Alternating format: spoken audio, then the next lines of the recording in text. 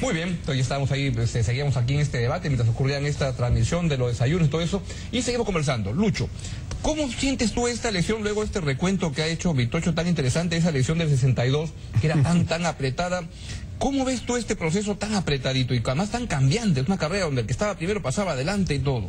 Bueno, lo primero que veo y creo que hay que destacar es la forma como hasta este momento se está desarrollando el proceso electoral. ¿Cómo lo ves? Sin sobresaltos, la gente acudiendo a votar, espero que haya puntualidad en las mesas y espero que en el transcurso del día, sobre todo cuando los candidatos van a votar, y me refiero a todos, no exista ningún tipo de incidentes. Somos un país democrático.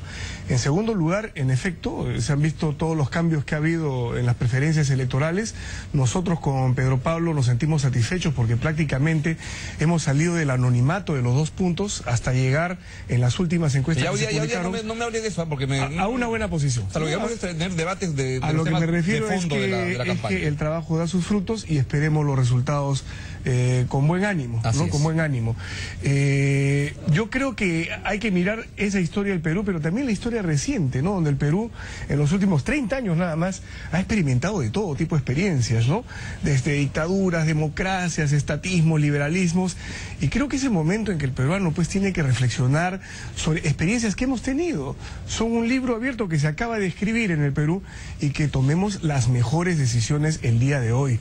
¿No? Yo creo que esta elección tiene que servir para consolidar nuestro sistema democrático. Con todas sus imperfecciones, con todos sus problemas, es el mejor sistema de convivencia entre peruanos, que hay un respeto irrestricto a la libertad de prensa y de opinión, eh, y también que hay un manejo de la economía responsable para que el Perú siga creciendo. Hay que entender que el crecimiento es lento, pero mientras sea positivo, todos vamos a ir ganando. Vamos a entrar en enlace en cualquier momento con los desayunos de los, de los candidatos. Está ya Toledo en el desayuno, en Barrios Altos.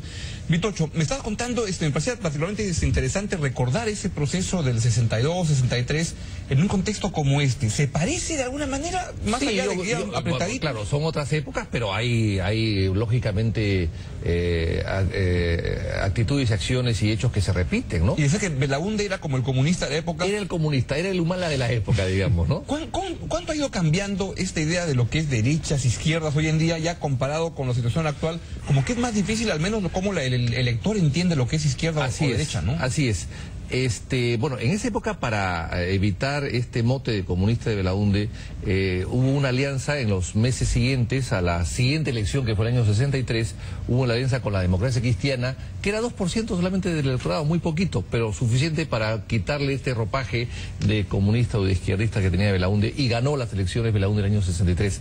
Ahora bien, después del año 89 de la caída del muro de Berlín, ya pues derecha e izquierda es una cosa relativa, pero la gente sigue percibiendo que el hombre de izquierda está más pegado al pueblo y que tiene más inquietud social y que tiene eh, más ánimo de llevar adelante una justicia social. Eso es lo que percibe la gente. Y la gente percibe un poco que el que está a la derecha o, el que está vinculado a los capitales tiene menos percepción y tiene menos sensibilidad social. Eso es lo que un poco la gente percibe el día de hoy.